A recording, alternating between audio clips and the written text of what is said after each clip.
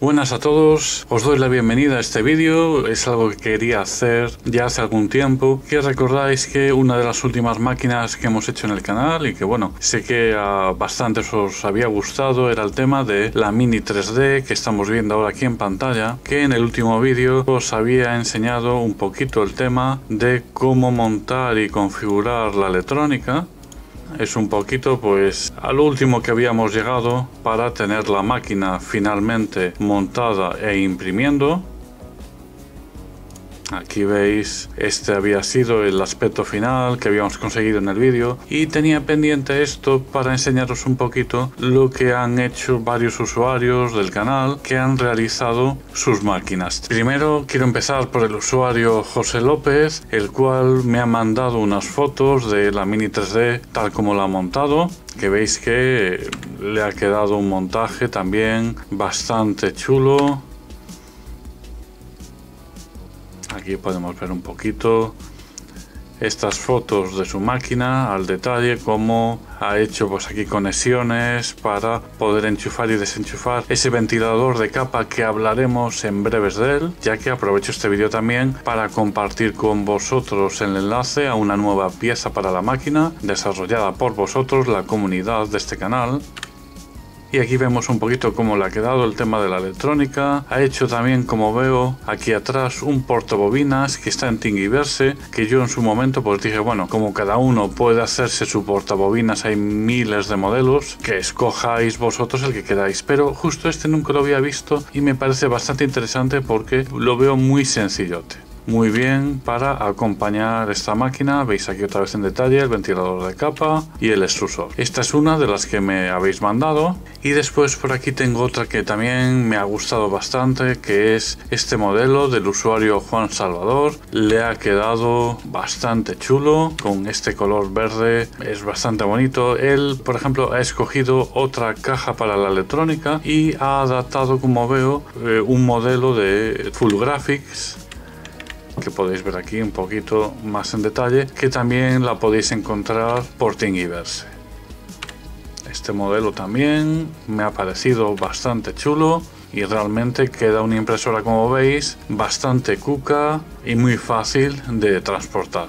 Ahora, el tema del ventilador de capa hay que agradecérselo al usuario Joaquín Monferrer, que él ha diseñado, como veis aquí un poquito más en detalle, este acople para montar un ventilador de capa estilo radial o blower, como se le suele llamar, que veis que nos queda bastante bien y es un diseño bastante sencillo para imprimir, no tiene mucha complicación. Veis que creo que nos queda bastante guay y lo bueno de este diseño que veo es que lo ha hecho en dos partes por lo que nosotros podemos imprimir la primera parte, que es esta, el soporte del propio ventilador, y después podríamos acoplarle una punta, la cual a nuestro gusto podemos hacerla editándola más o menos pegada. Pues bien, este usuario ha subido el diseño a esta web de prusaprinters.org por un lado, lo podéis encontrar en esta dirección que ahora estoy ampliando un poquito más aquí en pantalla.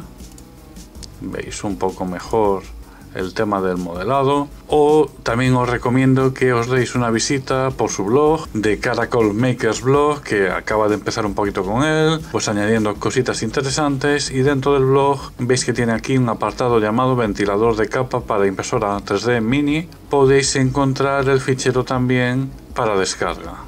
que al final pues nos va a llevar de nuevo a la web de Prusa Printers que es donde está este fichero para que lo descarguéis. Lo voy a dejar ahí, no lo voy a meter en mi web porque prefiero que también así podáis visitar el blog de esta persona ya que ha colaborado con el diseño que menos que vayamos a su blog a suscribirnos o subir un poquito las visitas y os lo comento porque me gustaría que fuerais a su blog ya que a su vez si vais aquí al apartado impresora 3D mini vais a encontrar esto que eh, me ha llamado la atención y me ha parecido también muy interesante y estas cosas a mí personalmente me encantan de que vosotros mismos os baséis en los diseños que publico para sacar o bien vuestra propia versión o remix o vuestra propia versión mejorada, incluso a veces, ha hecho su propia versión, ha cambiado algunas cosas como ha aumentado el tamaño de la cama, ha reforzado el eje Z, es un tubo de acero y aparte eh, pues da soporte para añadir una cama caliente entre otras cosas. La verdad pues yo creo que le ha quedado bastante bien, es diferente.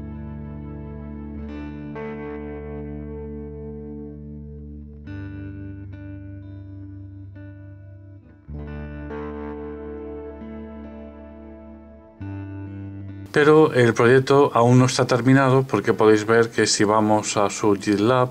aquí a mini impresora 3D, al menos eh, yo no sé si es por no estar registrado, yo de momento no veo los ficheros. Me imagino que igual está haciendo una modificación y pronto los, los subirá. Así que nada, este vídeo era para eso, para enseñaros un poquito algunos proyectos que me han llegado y así para animaros a que alguno más que está dudando si la hago o no la hago, no sé cómo va a quedar, pues la verdad, eh, a mí me ha encantado cómo ha quedado las que me habéis podido mandar fotos aquí al canal, como esta o como esta, cada una con sus particularidades, pero yo creo que en general han quedado realmente bien. Es un proyecto bastante chulo para poder hacer. Así que nada, este era el vídeo, decir que por fin ya me están empezando a llegar paquetes, los de AliExpress ya están empezando a soltar todo lo que nos tienen retenido, así que el siguiente vídeo ya va a ser meterme de lleno con Lani Cubic para hacer esa super versión mejorada en la cual ya he estado trabajando intensamente y tengo muchas novedades interesantes para ella. Estar atentos a los próximos días